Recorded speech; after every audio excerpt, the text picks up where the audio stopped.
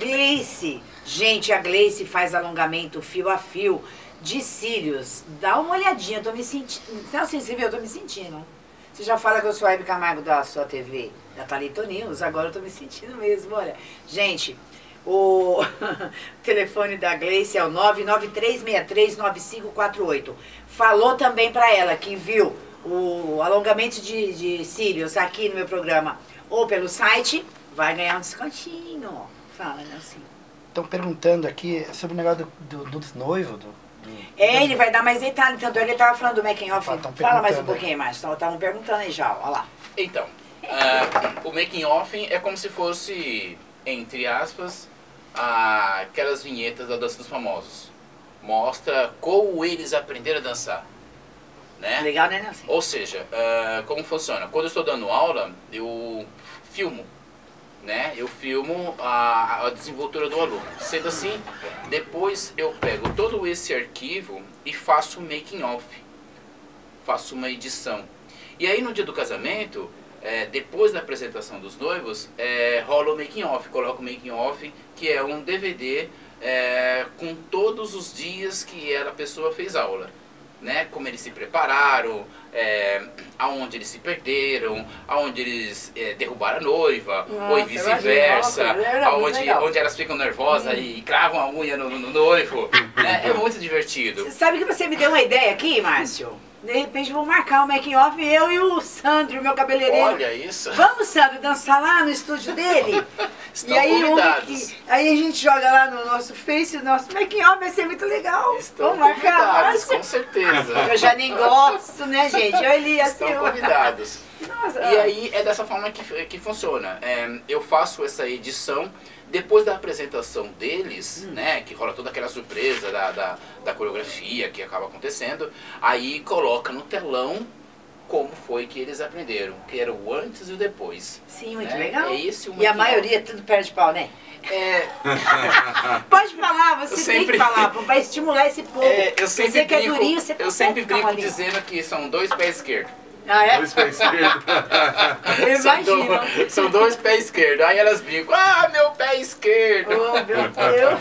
É muito engraçado. Não, mas é. Então, mas é que tem muitas pessoas que têm vontade de dançar e falam assim, Meg, eu tenho vontade, mas eu fico. eu- Aí eu falo assim, presta atenção quando o pessoal tá dançando, pra onde vai o pezinho. Porque eu nunca fiz aula de dança e eu fui dançarina. Com certeza. Entendeu? Quando a gente tem vontade, realmente é verdade. A vontade Mas já é 50%. É, e já vem que meu pai também dançava pra caramba. E assim, então quando você tem um sonho, você tem que ir atrás. Mesmo se você acha que não tem como fazer, sempre dá um jeitinho, Com né? Dá uma certeza, melhorada. Você certeza. pode não ser um Márcio, o Aurélio, certeza. mas você vai, pelo menos, se soltar quando você for aí numa paquerinha, fazer uma média, né? Porque tem Lógico. muito homem que é muito engraçado. Eles querem até chamar uma gatinha pra dançar e fica naquela. Como é que eu vou chamar? Vou perder pro cara que sabe dançar, ele então não perde. terceiro copo. É, não perde. Não, então, e não perde a gatinha. Aprende a dançar. Né não? Com Que se- sem contar, eu não posso fazer academia. Porque eu tenho uma pequena hernia de disco. Aí meu médico falou, então, Meg, volte a dançar. Sim, com Então, certeza. gente, dançar faz bem pra mente, pro corpo, né? Pra alma. Muito, pra alma, pra tudo, né? Calma. É que nem, ó, hoje eu tô com um professor de dança e um cara que canta pra caramba aqui do meu lado. Meu, uma sintonia maravilhosa. Né? Só coisa boa, Só né? Só coisa boa. O, o- o Lucas Grimaldi. Oi. Eu também nunca te fiz essa pergunta quando você fez os trabalhos comigo. Hum. Você tem alguma música que você compôs? Conta pra mim se você também faz isso. Tenho, tenho várias músicas. Tá Tenho. vendo? Você tem que fazer um CD e trazer pra mim, né, menina? Então, a gente faz e traz, pô. Hum. Com certeza. De repente alguém que também queira ser empresário aí, ó, aproveita a deixa aí, ó. Se quiser gravar as músicas, tudo registradinho, Aí, tá tudo vendo? bonitinho. É. Depois eu vou querer que você faça um pequeno um tracinho de alguma bem agitada aí pra ver se o pessoal já sente, Sério. sabe, aquele, aquele, como é que fala que o pessoal fala, Grimaldi? Hã? Aqueles pedaços de música que chama a atenção do povo, que rapidinho o povo... O refrãozinho? Isso, o refrão bem legal, se tiver depois você faz. Certo. Pra gente aí, tá? Aham. Então, quer dizer que você tem várias músicas, eu não sabia disso.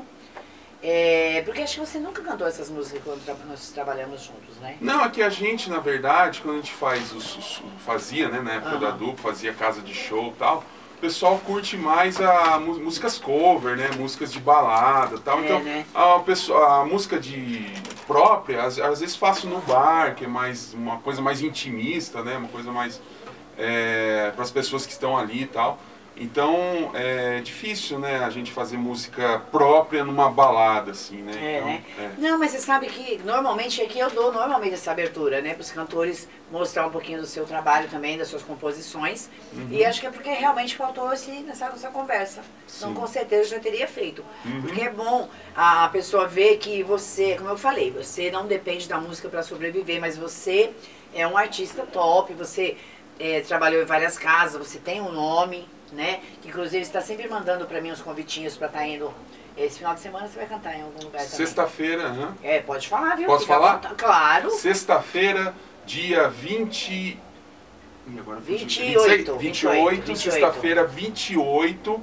Pessoal, todo mundo aí, ó, convidado para estar lá na, no Esquina da Vila. Esquina da Vila. Esquina da Vila, fica ali é, numa travessa da Timóteo Penteado. Ah, aqui pertinho. É aqui pertinho. Pessoal de Guarulhos, nós, nós vamos ter lá um festival de caldos, um festival de hambúrgueres também. Então tá todo mundo E é a convidado. partir de que horário? A partir da- das 19 horas. Grimaldi, se você continuar me cobrando, eu acho que eu vou dar uma passadinha lá antes de ir pro meu flashback no Gaivota sexta-feira. Isso, passa Vou lá lá. experimentar esse caldo, avisa lá pro rapaz que eu tô chegando e eu sou gulosa. Eu vou querer experimentar um pouco de cada. Com certeza, eu aviso lá o Rodrigo. Já avisa pro Rodrigo. Rodrigo, a minha amiga Melhor tá chegando, ela quer experimentar todos. E quem sabe o Rodrigo vira até o patrocinador também, né, meu bem? A gente tem que fazer um bom trabalho. Porque eu tô escutando falar dessa casa graças a você. Então a divulgação, ela é a alma do negócio sempre, né? Com certeza. Ó, cobrança, gente, uma hora dessa. Não vou atender, óbvio, né? Deixa eu tocar. Ai, é, vamos voltar pro Márcio agora um pouquinho. Márcio, você falou que começou tarde, certo? Você- É. Não, você fez esse comentário. Sim, sim. E eu vou falar pra certeza. você que não. Porque nada acontece nessa vida por acaso mesmo. Ah, com certeza. De repente você poderia ter começado mais cedo e você Já não teria. Então, Já você pensei nisso também. não teria esse êxito, essa prosperidade É, que você está tendo Essas agora. janelas, essas É. oportunidades, com certeza. Porque Com é certeza. muito, muito é, fácil você falar é, o que você falou e às vezes a gente não para pra pensar. Porque tudo tem a sua hora certa, né? Com certeza. Não tem Sabe jeito. o que acontece, Meg? Ah, quando eu comecei, eu, eu já comecei a encontrar algumas oportunidades, Certo. né? Meio que mesmo que começando assim por acaso, mas quando eu falo que comecei tarde, é porque se eu pudesse, é, é, se eu fosse o meu pai mesmo, eu falei, vai dançar. Entendi. Sabe, Então é quando bom você quer instruir dicas, o né? seu filho Uhum. a algo que é bom, tudo que é bom. Eu, por exemplo, eu aconselho o meu filho, eu, eu força para ele para que ele procure algo que tenha tudo envolvido com cultura. Se ele não vai ser dançarino, ele pode ser qualquer, qualquer coisa, mas que tenha um leque cultural. Quanto mais cedo, melhor. É o estímulo Né? sempre, né? Pra coisa Exatamente, boa, né, gente? exatamente. Muito bom. Porque eu tenho certeza que nesse mundo onde outras pessoas que também dançam devem concordar comigo, esse mundo não tem violência. Não tem. É, É só você alegria, entra nesses lugares, leveza. não tem segurança dando uma geral em você, querendo saber se você está armado, não tem bebedeira onde as pessoas se embriagam demais. Nada contra quem beba, eu também bebo. Mas quando eu falo bebedeira, é quando a pessoa pega o volante, Perde o limite, perde o limite, perde perde. limite, é. né, passa mal, é justamente essa a questão, né? Então quem vai pro lu- lado cultural tende a fazer menos besteira. Tá vendo, gente? Vamos seguir a dica do Márcio. É. Eu vou mandar mais um abraço aqui pra galera ali, ó. Nossa, minha filha tá assistindo. Uma beijo, minha filha. Beijo, minha neta Brenda. Hoje é dia da vovó, né? Ó. E do vovô. Parabéns a todos nós. Eu tenho muito orgulho de ser vovó já por duas vezes. Ah lá, o meu primo lá de? Recife. É, você viu que gostoso? Meu primo, Diego Fernando, lá de Recife. Grande beijo. Beijo pra toda a nossa família aí, tá, Diego? Obrigado pela audiência. Ah lá, eu falei da Arlete, a Arlete apareceu, tá vendo, Grimaldi? Ah, Manda um beijo apareceu. ela, Um beijo, Arlete. Tudo bem com Ele você? já cantou sua música aqui, eu lembrei que você gostava muito quando ele cantava essa música. Claudete Lourenço, minha amiga que trabalhou muito tempo comigo no bingo. Eita, povo lindo! O Iago, o Washington. Mua! Eu fico aqui falando de vocês, eu paro até o programa, né? Vocês sabem que eu tenho que agradecer vocês sempre. Então, essa dica que o Márcio Aurélio deu é muito importante. Vamos estimular as crianças. Puxa o sofá da sala, tocou a musiquinha lá, vão brincar, vão exercitar esse corpo. É, porque hoje em dia também, devido à tecnologia, Larga um pouco o videogame. é, por causa do celular, notebook, então é, se perdeu um pouco essas essências boas que faz bem pro corpo e pra mente. Então vamos pensar um pouquinho o que dá pra fazer, dá pra ter um espaço pra cada coisinha boa. É só a gente se planejar e projetar bem a nossa vida, né não? Com certeza. Grimaldi, fala alguma coisa que de repente você tem vontade de falar e de repente não teve oportunidade. Fique à vontade. Hum, que eu tenho vontade de É, falar. de repente, ah, algum incentivo, alguma palavra que você tem vontade, sei lá, alguma Ah, coisa que você tenha vontade de falar e não teve oportunidade. Bom, eu acho assim que, assim como a gente está falando de, de questões culturais, né? Vamos falar de música, né? Que o pessoal também que está aí no caminho da- da- do aprendizado, né? E muito importante, né? Buscar sempre a música, porque ela é algo que liberta né, a alma do indivíduo. Pessoa que está ali, se dedica ali no instrumento, que canta, né? Isso é muito importante.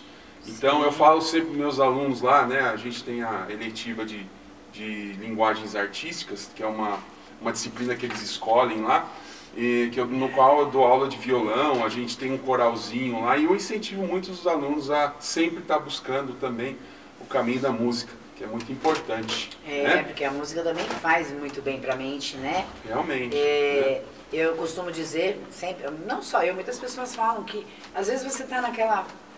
não tá num momento tão legal, e você coloca uma música lá, que de repente bate com aquele momento que você tá passando, e aí em seguida já vem outra que te dá o estímulo pra você sair daquela. Né? Então, Realmente. tipo, não é? Então isso acontece muito, eu acho muito legal, porque parece que os cantores, vocês que eh, fazem composição, eh, visualiza que alguém está passando por aquela situação. Então eu acho muito legal porque não é proposital, né? É uma coisa que vem de dentro. E isso é Realmente. muito importante, né? Ah, aproveitar e mandar um beijo lá pro pessoal de Peruíbe, Mauricinha Selma, minha prima Andréia, Joel, Josué, um grande beijo no coração de vocês. Fala, Nelsinho, tá um frio aqui dentro, Nelsinho. Gente, daqui a pouquinho eu